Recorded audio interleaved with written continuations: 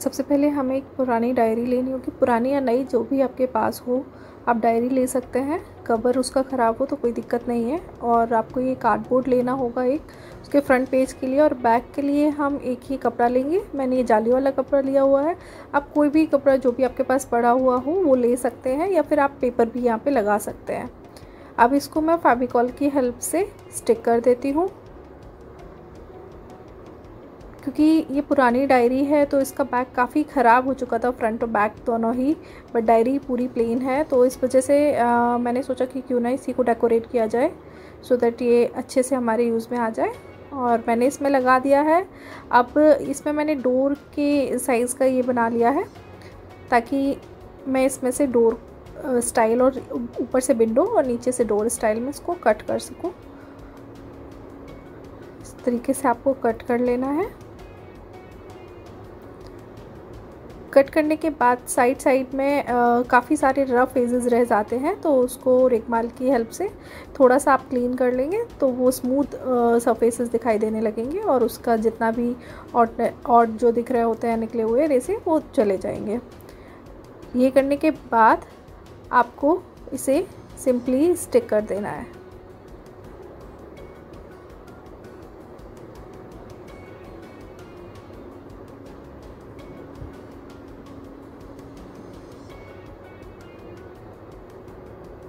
ये मैंने सारे कर लिए हैं, रिकमाल से स्मूथ कर लिए हैं सारे सरफेसेस अब मैं यहाँ पे ये जैसो यूज़ कर रही हूँ बिकॉज़ आपको पता है कि कलर जो है वो नहीं ठहरता है ऐसे सरफेसेस पे तो उसके लिए हमें पहले जैसो यूज़ करना होता है ताकि इसका टेक्सचर काफ़ी अच्छा आए।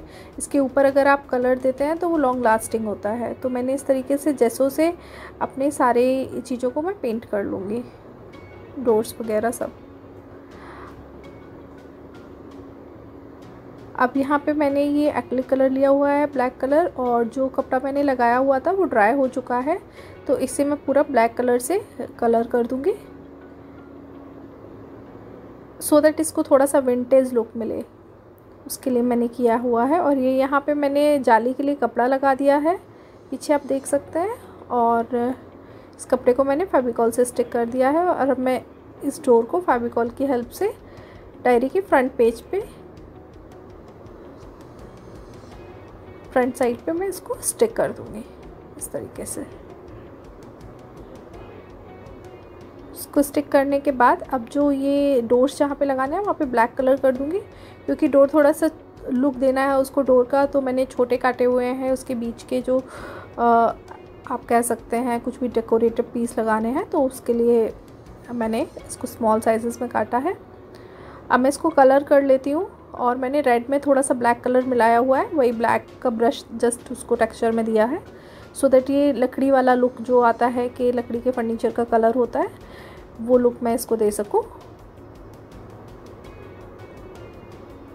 अब यहाँ पे मैं ये जो ब्लैक कलर सूख गया है सूखने के बाद आ, मुझे यहाँ पे ये डोर्स को स्टिक कर देना है जो मैंने काटे हुए थे पहले स्टार्टिंग में। इसको मैं स्टिक कर दिया है। स्टिक करने के बाद इस पर भी सेम कलर कर लेना है। ये देखिए, इसका टेक्सचर बहुत ही प्यारा आ रहा है। आई डोंट नो कैमरे में उतना अच्छा नहीं आ रहा है।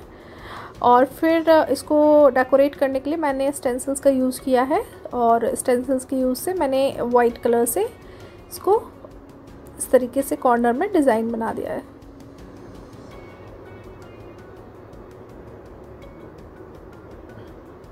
आपके पास अगर कुछ रखा हो स्टोन वगैरह, आप वो भी लगा सकते हैं. It's totally up to you फिर थोड़ा सा ये विंटेज लुक देने के लिए, थोड़ा सा शेड देने के लिए, मैंने उससे ही वाइट कलर को थोड़ा सा शेड दिया हुआ है डोर्स के आसपास एंड विंडो पे भी.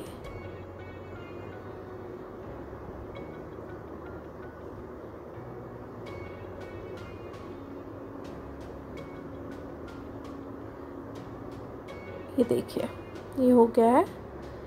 अब कलर ड्राई होने के बाद मैं इसमें ये थ्री डी आउटलाइनर है, मेरा सिल्वर कलर का, मैं उसे यूज़ कर रही हूँ। उससे मैंने ये स्टोन्स बना दिए। ये सूखने के बाद एकदम ऐसा स्टोन वाला लुक देते हैं कि जैसे आपने यहाँ पे कोई पर्ल वगैरह लगाया हुआ हो, इसे डॉट डॉट कर दिया मैंने। और सेम वही, ऊपर भी यूज़ किया है विंडो में। थोड़ा सा पर्ल इफ़ेक्ट देने के लिए। और ये हैंडल मैंने बनाया हुआ है मतलब लाइक मैंने आ, उसे ग्लूगन की हेल्प से इसको बनाया हुआ था। आपके पास अगर कोई पीस रखा हुआ है या आप नॉर्मल क्ले को भी रोल करके लगा सकते हैं या हैंडल के लिए कुछ भी आप यहाँ पे लगा सकते हैं। और इसको मैंने ब्लैक कलर दे दिया है। काफ़ी जा रहा है ब्लैक कलर इसके साथ में।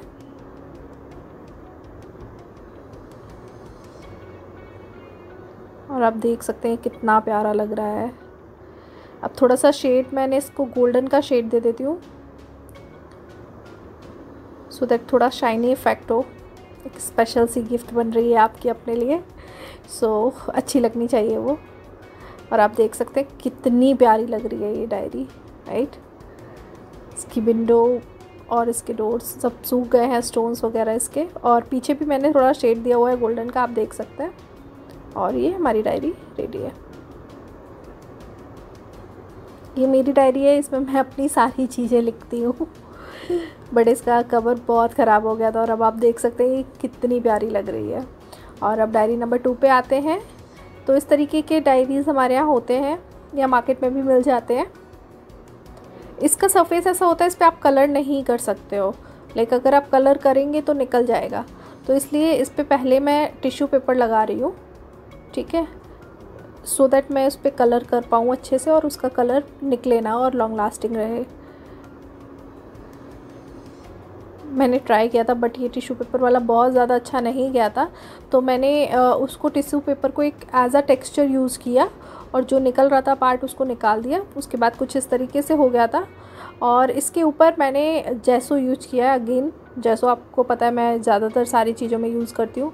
बिकॉज़ ये काफ़ी हेल्पफुल होता है आपकी चीज़ों को लॉन्ग लास्टिंग इफ़ेक्ट देने के लिए, आपके कलर को रखने के लिए। अदरवाइज़ इस डायरी पे आप कोई कलर नहीं कर सकते थे, इसका जैसा सरफेस था, आप कलर नहीं कर सकते हो बिना जैसो यूज़ किए हुए। तो जैसो को बनाने की लिंक मैं आपको डिस्क्रिप्शन बॉक्स में दे दूँगी, आप वहाँ से चेक कर सकते हैं। और ये हमारा जैसो सूख गया है। अब इसके बाद मैं कलर यूज़ करूँगी रैंडम मैं यहाँ पे ऑरेंज कलर यूज़ कर रही हूँ, आप कोई भी कलर यूज़ कर सकते हैं। और मैं थोड़ा सा शेड दूँगी इसको।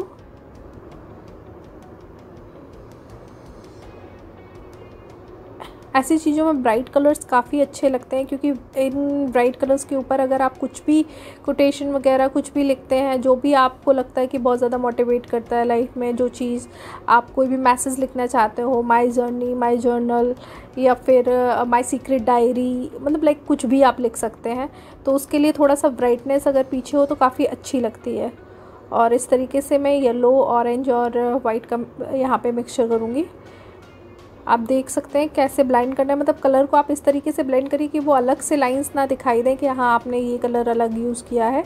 उसको एक साथ इस तरीके से ब्लाइंड करते जाइए। आप देख सकते हैं कितना प्यारा आ रहा है लुक इसका। और वो जो टिश्यू पेपर मैंने लगाया था, उसकी वजह से एक बहुत ही, एक रफ़ टेक्सचर जो आप कह सकते हैं पेपर पे आ रहा है और ग्लॉसी ही जो कलर की वजह से आ रहा है, उन दोनों का मिक्सचर होके ये काफ़ी अच्छा दिख रहा है यहाँ पे। और ये सबसे लास्ट में यहाँ पे लाइट कलर में यूज़ कर रही हूँ। इसको आपको अच्छे से पूरा ऊपर तक ब्लाइंड कर लेना है सो so दैट कहीं पे भी अलग से ना दिखाई दे कि आप अलग से कोई कलर यूज़ कर रहे हैं। इस चीज़ का बहुत ध्यान दें। क्योंकि जब भी आप कोई शेड मिलाते हैं दो तीन तो उनको प्रॉपर जब तक मिक्स नहीं होते हैं ना, तब तक वो लुक नहीं आता है।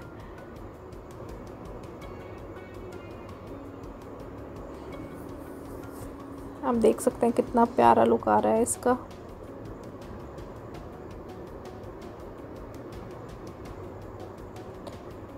कलर करने के बाद एक बार मैं इसे सूख जाने दूँगी।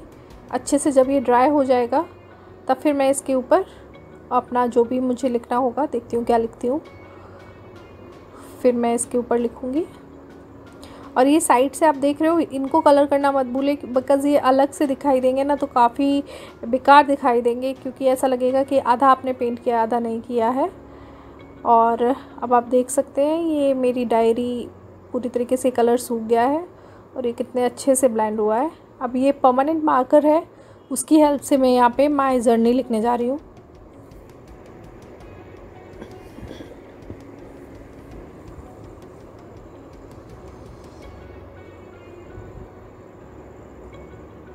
सीरियसली बहुत अच्छी लग रही है ये। अब नीचे मैं अपने नीचे लाइक पूर्णिमा गुप्ता अपना नाम लिख दूँगी। सो so देट ये पूरा कंप्लीट लुक देने लगेगी। आप चाहो तो यहाँ ब्लैक कलर से भी लाइक आप पेंसिल से पहले लिख लीजिए और उसके ऊपर ब्लैक कलर को ब्रश की हेल्प से भी लिख सकते हैं। बट मार्कर से बहुत ज़्यादा इजी हो जाता है। और ये यहाँ पे मैंने अपना नाम लिख दिया। अभी भी थोड़ा सा ब्लैंक लग रहा है तो एक काम करते हैं, मैं इस पर कुछ स्टार्स वगैरह बना देती हूँ राइट आप कुछ भी बना सकते हैं या कोई अगर आपकी फेवरेट पिक है, आप वो ऐड करना चाहते हैं, वो भी ऐड कर सकते हैं। इस तरीके की डायरीज़ आप अपने लिए तो बना ही सकते हैं और अगर आप किसी को गिफ्ट करते हैं आई एम डैम श्योर उनको बहुत अच्छा लगेगा। लाइक ये एक ऐसी चीज़ है जो बहुत ही स्पेशल होती है, लोग अपनी स्पेशल चीज़ें ही इसमें लिखते हैं राइट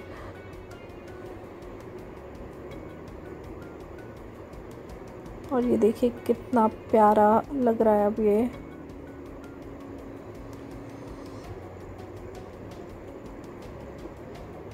रेंडमली कहीं पे भी आप बना लीजिए मतलब कुछ भी। आप चाहो तो कोई और डिज़ाइन भी बना सकते हो, या जो भी आप अगर चाहो तो पूरा ऊपर से नीचे तक कोई अच्छा सा कोट जो आपको लगता है कि आपको मोटिवेट करता है, कुछ तो इस तरीके से कोई कोटेशन भी लिख सकते हैं, या माई सीक्रेट डायरी भी लिख सकते हैं, वो भी काफ़ी अच्छा लगेगा आई एम श्योर लिखा हुआ।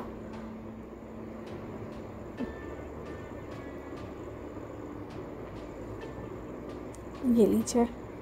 हमारी डायरी हो गई है तैयार। तो फ्रेंड्स, अगर आपको मेरा आज का वीडियो अच्छा लगा हो तो please do like, share and subscribe my channel. Thanks for watch.